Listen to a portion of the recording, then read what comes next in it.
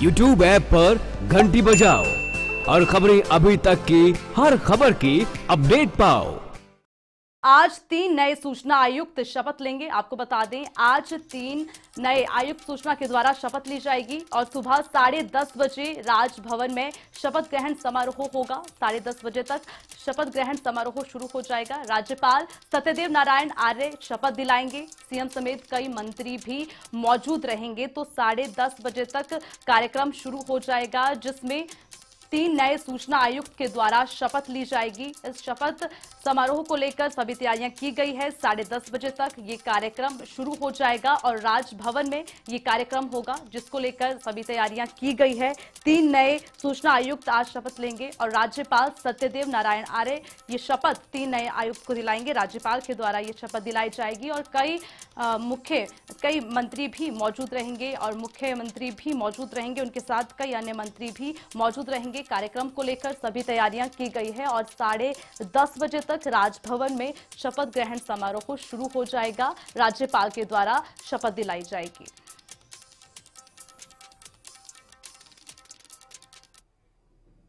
अंतर्राष्ट्रीय महिला दिवस कार्यक्रम पंचकुला में रखा गया है। राज्यपाल और कैबिनेट मंत्री कविता जैन भी शिरकत करेंगी। आपको बता दें, आज अंतर्राष्ट्रीय महिला दिवस मनाया जा रहा है तो पंचकुला में भी इसका आयोजन किया गया है, जिसमें कैबिनेट मंत्री कविता जैन और राज्यपाल शिरकत करेंगे। कार्यक्रम को लेकर तैयारियाँ की गई है। उत्कृष्ट योगदान के लिए तेईस महिलाओं को सम्मानित भी किया जाएगा।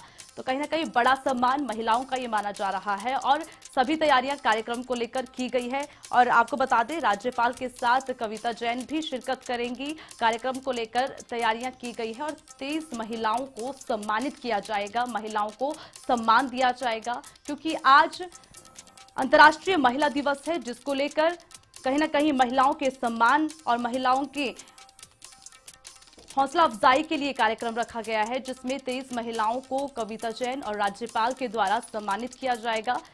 सभी तैयारियाँ कार्यक्रम को लेकर की गई है और पंचकुला में ये कार्यक्रम होगा। आपको बता दें, उत्कृष्ट योगदान के लिए ये तेईस महिलाओं को सम्मानित भी किया जाएगा। तो कहीं ना कहीं महिलाओं के सम्मान के लिए आज बड़ा दिन माना जाता है और आज ही के दिन कार्यक्रम भी रखा गया है पंचकुला में, जिसमें कैबिनेट मंत्री कविता जैन मौजूद रहेंगी और राज्यपाल भी मौजूद रहेंगे और उनके द्वारा महिलाओं को सम्मानित किया जाएगा। तेईस महिलाओं को सम्मान दिया जाएगा।